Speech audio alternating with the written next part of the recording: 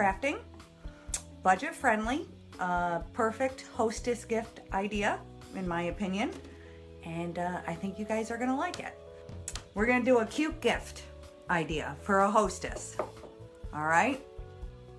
Couple years ago, my sister came up with a really cute idea. And it's actually, at one point, it went kind of viral. These little Dollar Tree salt and pepper shakers, see them? They're snowmen. I'm gonna show you how to do them. I actually bought different salt and pepper shakers today uh, because I love the shape of them. They weren't at the Dollar Tree, they were at Walmart.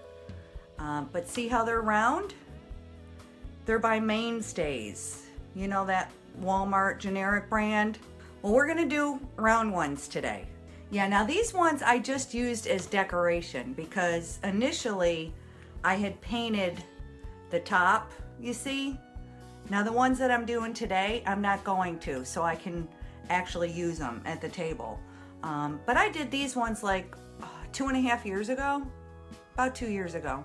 And um, I still bring them out every Christmas and I put them on my shelves and uh, a lot of ladies has made them since. They uh, sold them at their craft fairs and you only need a few supplies. Like I said, I bought these at Walmart today. They come in a two pack by Mainstays. I want to say they were 357, you know how everything ends in a seven there, something like that. And I liked them because they were round. And I thought those would be cute snowmen. So now I've already painted one and I'm using my chalky paint today as usual. Um, I already put it on a plate but I use, I've been using Waverly chalky paint or Deco American Art, whatever chalky paint that you like. I'm embarrassed to show the bottle because it's a mess, but it's by Waverly. You get it at Walmart. And the color I'm using is just a straight up white. So I'm gonna take the cap off.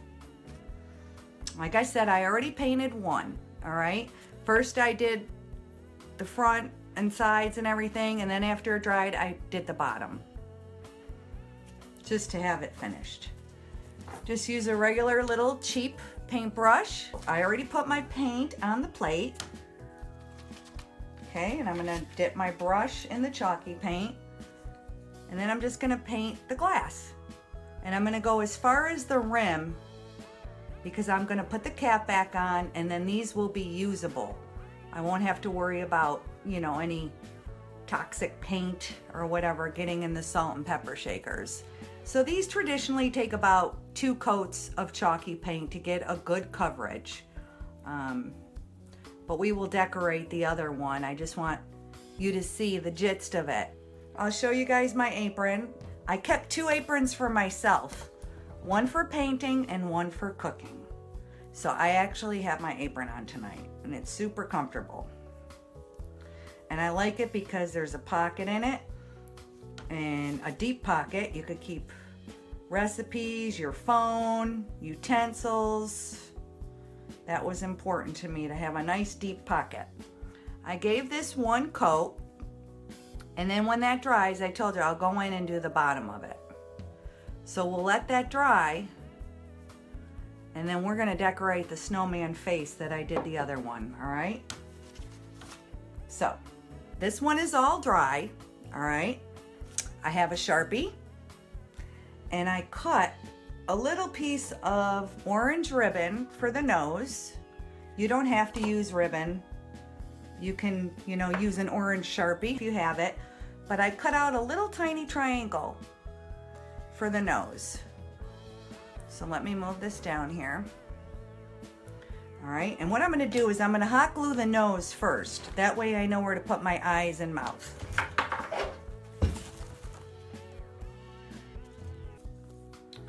So all you need is a little dab of hot glue. I cut the orange ribbon out like a little triangle.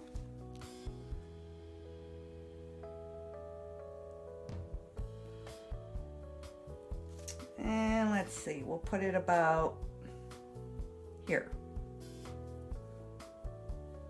And I put it a little, you know, sideways.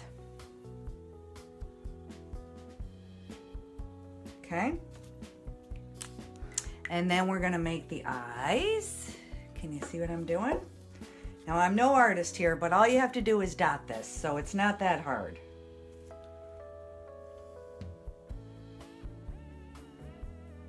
Dot there. Dot there. Then a couple dots for the mouth.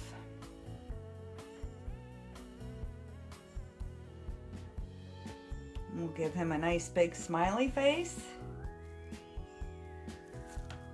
Make his eyes a little bigger.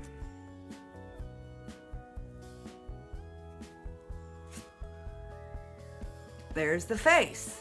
And then I'm gonna use some ribbon. I bought this little ho ho ho ribbon. Cut a ribbon. And I'm gonna tie it around the neck.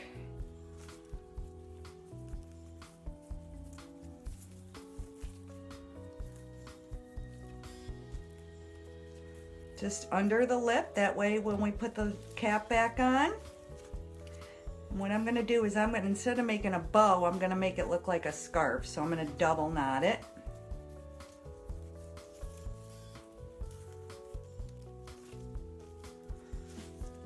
Then I'll cut the excess. But this is a cute little hostess idea. If you're going to someone's house, you could even fill it up with a little salt and pepper. Put it in a cute bag.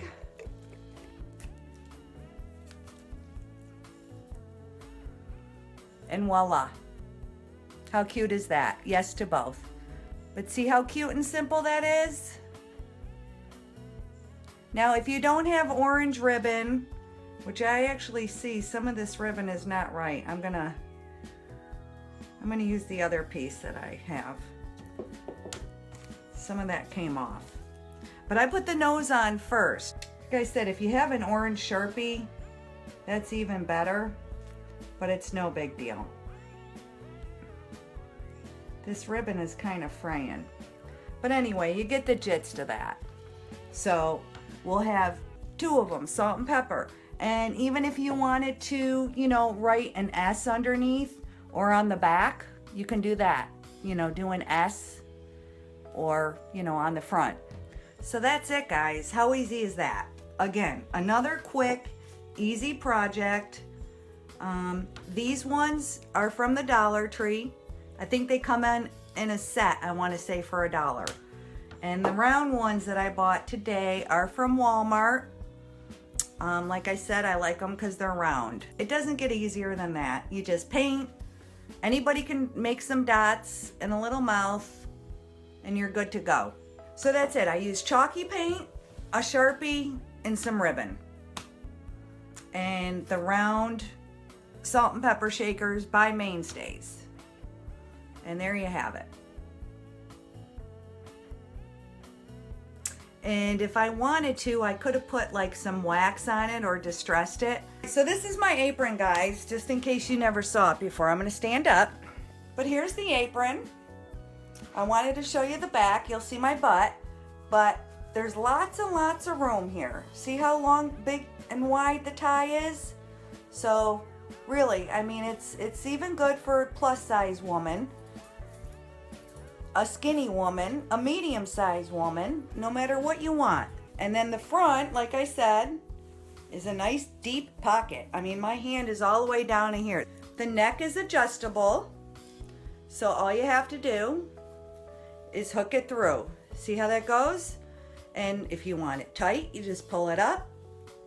But see, it goes right through the loop. Pull it up, give it a little knot, and there you go. But I think it's flattering too. That's what I like about it. It's it's comfortable. It goes with your, you know, forms to your body. So no matter what, um, it's going to be comfortable. I don't see it being tight because look, that's pretty long strap. It's really comfortable because like I don't even feel it now. But if I wanted it tight, all I'd have to do is just, you know, make a tighter knot. But it's like I don't even feel like I have anything on. So I think these make great gifts for your mom, for your sister, for yourself. Mine, this is my painting one. I actually did get a little paint on it. But that's okay because it's my painting one and then I have a cooking one.